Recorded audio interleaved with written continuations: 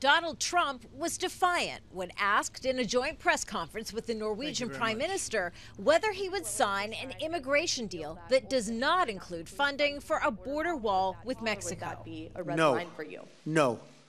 No. No? It's got to include the wall. We need the wall for security.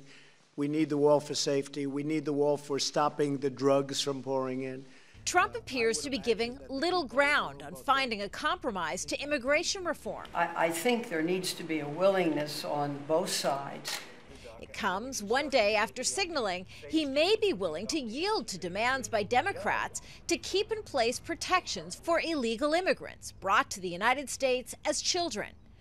But a Tuesday California court ruling blocking Trump from ending those protections outraged the president, who took to Twitter suggesting the decision that will likely be challenged is flawed.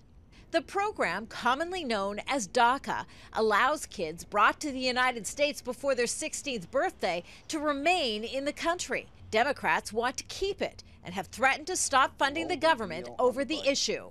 We cannot wait. We cannot tolerate delay.